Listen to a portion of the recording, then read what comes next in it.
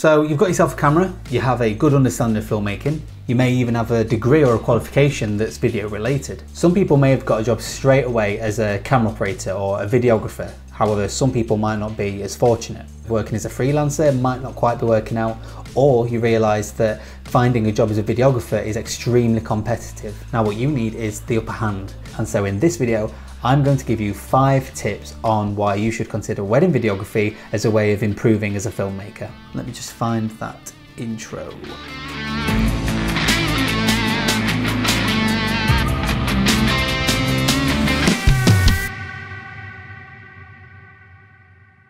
So yeah, I want to share with you guys today why I personally think that wedding videography is a great area of filmmaking to get into to help you develop as a filmmaker. And I know there's more reasons out there, but to me, these are the most valuable skills that you'll gain from doing wedding videography that you can take into any other area of filmmaking. So let's dive straight in with number one, and that is proactive filmmaking. Although weddings typically follow a similar routine throughout the day, many things could happen that you weren't aware of and you need to think on your feet in an instant and make sure you capture the footage. So whilst you have to make sure the settings are correct, you also need to make sure that you're framed up and ready for something that could potentially happen. Teaching yourself to always be one step ahead will prove to be so effective in your filmmaking career because you'll be naturally envisaging potential situations before they've even taken place. And with this skill, you'll be able to shoot things like documentaries because you'll always be aware of making sure your shot looks nice, but proactively thinking ahead of what could happen. Number two is relationships. Wedding videography isn't just about filming and editing videos. Half of it is to do with the relationships that you form. Before a couple inquires about having a wedding video made, chances are they've never spoken to you before. And so within a short amount of time, you need to earn their trust and prove to them that you're the right person or business for the job. And with these relationships that I've personally formed over the years, I've developed into someone who's a lot more confident, a lot more approachable, not just as a videographer, but when it comes to making friends or talking to strangers.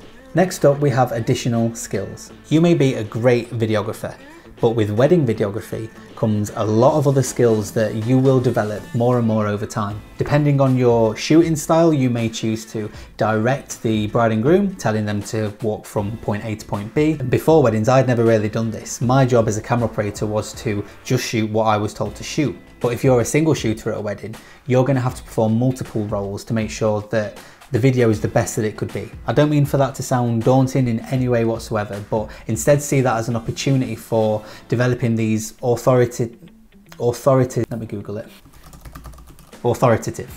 So authoritative responsibilities that are an extremely beneficial skill set to have in your locker. You'll also learn about brand and identity. If you're just starting out as a wedding videographer, like I was, you won't want to spend much money on web design or logo design or someone looking after your social media. And so if you take the time to learn these skills and do them, you're going to learn a heck of a lot about brand and identity. I built my own website from scratch. I even designed my own logo and several versions of the logo over the years. And so if you do the same, you're gonna have a whole catalog of these skills that will essentially save you money, but also help grow your presence in any other venture that you decide to go on, whether that's starting a business or potentially selling other skills that you've got on places like Fiverr. Quick note, wedding videography is a great way to bring in regular income each month. And apart from the COVID lockdowns going on at the minute, there won't necessarily be a huge shortage in weddings as time goes on. And so if you prove that you have the ability to produce consistently good work, you then have a base to allow yourself to learn other skills in your spare time.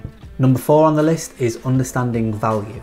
When you're starting out, there's no way you can charge the same amount for a wedding video as people who have got years of experience. From a customer perspective, that's because you've probably not got a portfolio to show or to match. My first weddings were the hardest to convert, and that's because I didn't have a portfolio to show them. Instead, I had to rely on how I represented myself and gaining their trust, which leads us back to point number two, which was all about relationships. As you gradually get more and more weddings under your belt, you'll begin to understand the amount of time and effort that goes into making a wedding video. And therefore, you have to make sure that you find the right balance between making a comfortable living but also making sure that you're not charging too much for what your portfolio at that time is suggesting.